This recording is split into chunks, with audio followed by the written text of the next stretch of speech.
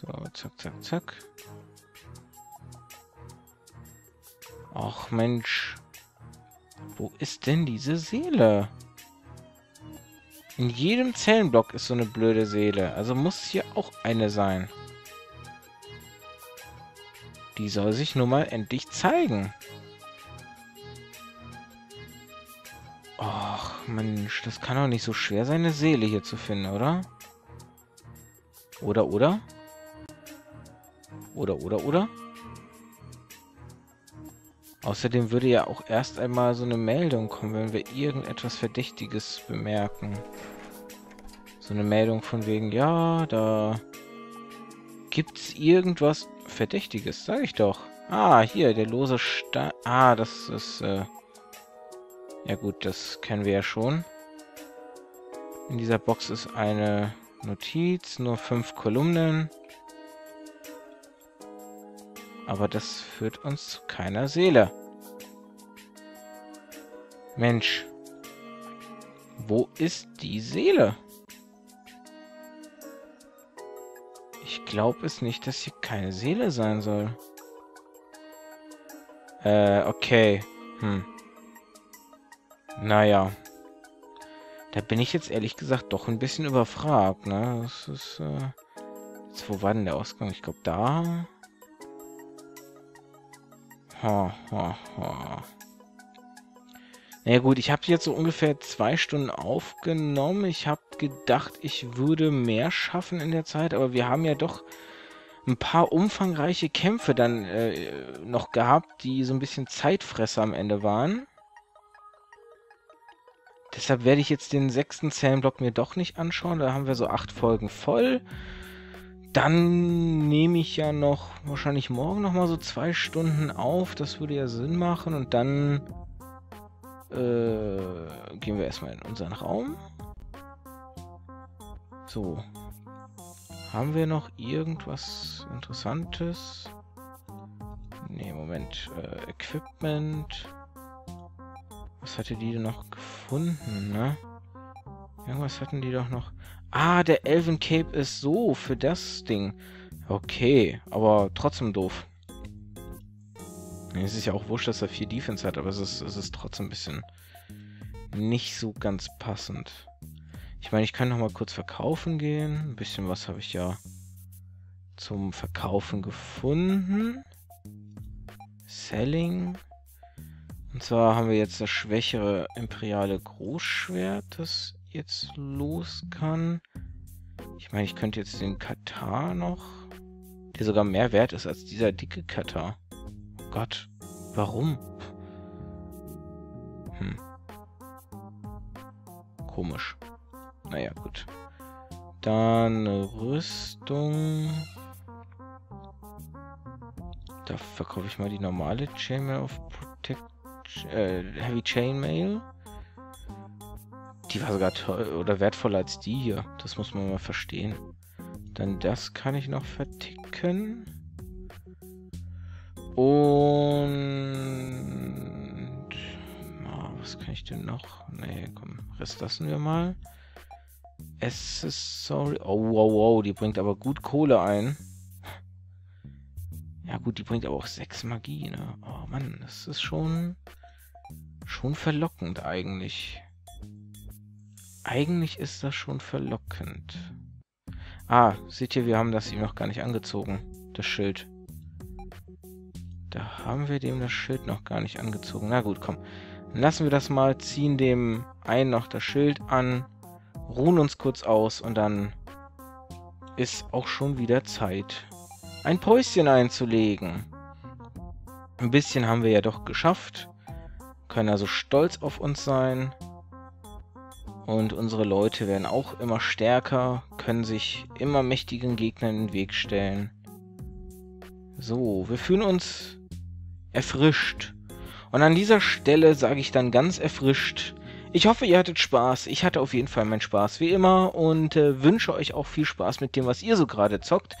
Ähm, sage dann mal bis morgen, bis ich da die nächste Aufnahmesession starte. Dem Moment, wenn ihr das seht, ist es schon weit hinten, da ist nichts mit morgen.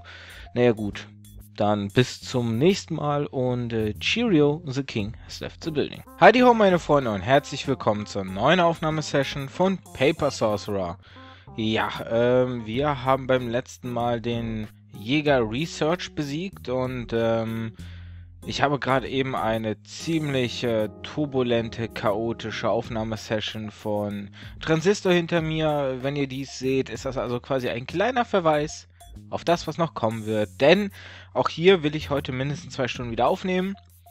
Umzug steht demnächst an. Ich muss einfach für bis dahin und danach ein bisschen was haben, weil ich nicht weiß, wie gut das mit der Telekom und dem Umschalten dann später alles funktionieren wird. Und da sollte halt möglichst viel also vorbereitet sein.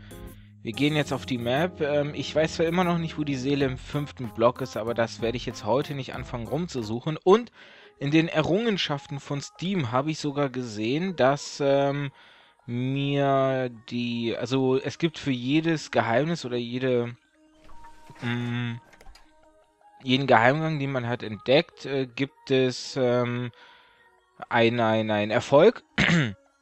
Und diese Erfolge, die werden da quasi einfach alle aufgelistet, nummeriert und das heißt, man kann so grob erkennen, an welcher Stelle man einen Erfolg ausgelassen hat, beziehungsweise einen Geheimgang. Und mir fehlt tatsächlich einfach mein Geheimgang äh, Nummer 4. Wir finden ein Buch, das genannt wird äh, Magierin oder Herrschaft der Magierin. Ähm, das Bild auf dem Cover zeigt eine Compelling Woman, also eine Frau, was Compelling hat ähm, auf jeden Fall ist sie halt ähm, hier pale, pale, pale bleich und äh, hat platinblondes Haar mit schwarzen Strähnen, die, die der Buchrücken behauptet oder sagt. Eine ein Retelling, äh, eine Beschreibung, eine, eine, eine, eine Erzählung der dunklen Periode der Eroberung der Magierin äh, dieses Buch oder diese, äh, diese, diese Lektüre äh, taucht in Aliels Motivation und Methoden ein.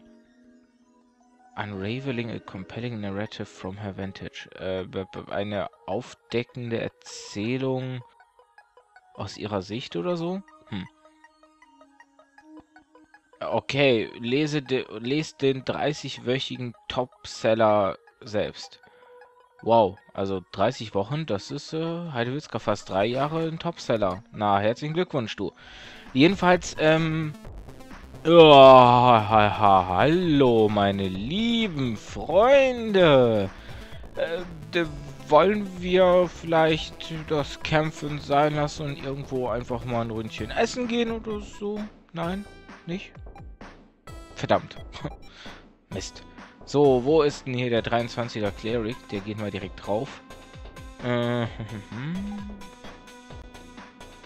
der macht man Inhuman Strike auch auf den 23er Cleric. Und der Minotaurus macht ein Wild Swing. Und hoffentlich trifft er auch ein paar. Ja, und äh, den vierten Geheimgang haben wir also übersehen. Ich glaube, beim letzten Mal bin ich ja von Block 3 alles durchgelaufen und habe mir alles angeschaut. Das heißt, wenn wir... Hab ja auch noch ein bisschen was gefunden. Das heißt, wenn wir Geheimnis 4 nicht entdeckt haben, heißt das, dass wir relativ am Anfang etwas, vielleicht also in dem Wow, 258 HP Schaden. Heieieiei, das war ja ein Spaß, du. oh Mann. Ähm. Ja, dann bedeutet das ja im Grunde, dass wir so irgendwo in Zellenblock 2 oder sowas vielleicht was übersehen haben. Das heißt, da müssen wir echt nochmal bei Gelegenheit äh, rumlaufen, weil so nicht. Also, sag ich jetzt einfach mal, so nicht. Ne? Und ja, jetzt, ich weiß, das macht zwar keinen Sinn, aber wir machen es trotzdem mal, wegen alle Gegner werden getroffen. Ähm, und da überlege ich mir, ob ich das jetzt, oder wie ich das jetzt mache, genauso wie mit der Seele, muss ich jeden Aspekt in, ins Let's Play packen. Natürlich ist es für euch vielleicht ganz interessant, so möglichst viele Sachen zu sehen, aber mh, hm, drei Folgen mich zu zeigen, wie ich da irgendwas suche, finde ich ab einem gewissen Punkt einfach nicht mehr interessant und bezweifle, dass es wirklich für euch interessant wäre. Äh, da müsste man echt mal überlegen, oder müsste ich mir überlegen, wie ich das dann am Ende mache. So, drei von den Heinis haben wir jetzt schon mal weg. Das ist doch schon mal eine ganz gute Zahl. Dann machen wir mal Refresh-Rune noch. Der Minotaurus macht noch einen Power Swing. Der Vampir, der macht mal ein Grabesnebel. Ja, 2 Stunden 40 habe ich Transistor gerade aufgenommen. Eine riesige Aufnahmesession durch und äh, mit viel, viel Gelaber und ich weiß teilweise echt nicht mehr, was ich da gelabert habe. Freut euch auf den Spaß. Ich bin mal gespannt, ob wir hier auch die 2 Stunden 40 voll machen. Na, das war doch ein Scheißangriff, lieber Minotaurus. Oder wie das hier am Ende aussehen wird, weil, ähm, ja, ich sag mal so, wir haben immer, immer so eine Etage durch gehabt und waren dann bei... Was waren wir denn da immer? Zwei Stunden so um den Dreh herum. Da ist die Frage, ne, inwieweit... Machen wir mal auf den Warrior, dann ist er schneller weg. Und der macht mal ein bisschen Blutrausch auf sich. Ähm, in, inwieweit wir das heute vielleicht mal unterbinden können und mal ein bisschen schneller vielleicht mal durch die Etage durch sind. Oder auch mal vernünftiger, weil wenn wir auf den ersten Hieb direkt alles entdecken, müssen wir ja auch nicht zehnmal wieder reinrennen und so Geschichten. Aua, das tut... Da, hallo, das tut weh. Na naja, gut, wenn er null Defense hat, dann äh, machen die auch irgendwann mal Schaden, ne? So, unser Skeletor macht also mal Defender, deshalb der, die Magierin, die immer noch keinen Namen hat, mir ist immer noch nichts eingefallen. Es tut mir leid, die macht mal das hier. Edward darf deshalb mal Dark Sacrificen auf, das, auf den Skeletor. Und der Minotaurus, der leider ebenfalls noch keinen direkten Namen hat, ähm, haut einfach mal mit drauf hier. So, irgendwas muss ich ja immer reden, weil gerade bei dem Spiel ist es ganz wichtig, dass da kein Claim am Ende wieder rumkommt. So um die 10 Stunden haben wir ja jetzt erreicht. Ich habe ja schon mal gesagt, wenn man mit Geheimnissen wo spielt, ist es so mit 14 Stunden ges gesagt worden. Das heißt, so 4 Stunden Spielspaß haben wir noch vor uns im, im besten Fall. Im schlechtesten sind es wenig weniger. Also ich hoffe zumindest, dass es als etwas Gutes empfunden wird, dass wir mehr Folgen vielleicht haben. So. Was macht der denn jetzt? Was macht er? Der macht nochmal Refreshing der Rune. Minotaurus haut auch nochmal mit drauf. Und der Vampir, der saugt Leben bei dem Level 12 Warrior. Die Frage ist jetzt, oder was mir sich als Frage noch stellt, was kann da jetzt noch groß kommen? Wir haben Research gekillt. Äh, es sind noch drei Helden übrig von vier, die uns hier eingesperrt haben. Tauchen alle auf, dann wären es ja noch drei Blocks. Und äh, da wir immer zwei Stunden pro Block irgendwie gebraucht haben, würden wir ja mehr Zeit letztendlich, also würden wir ja bei 16 Stunden irgendwie rauskommen. Ist die Frage, ob das an meinem Gelaber liegt, dass ich durchs ganze Labern quasi mehr Zeit brauche, weil ich halt nicht so schnell agiere oder nicht so schnell mache. Natürlich wahrscheinlich, ah gut, ein bisschen Zeit werde ich durchaus durchs Labern verloren haben, weil ich mich dann natürlich auch hier und da mal mehr aufs Labern konzentriert habe und so. Das äh, kann ich durchaus nicht abstreiten. Das dürfte auch ähm, der Fall sein. Hier und da. So. Ja, ein bisschen Schaden hat er gemacht, immerhin.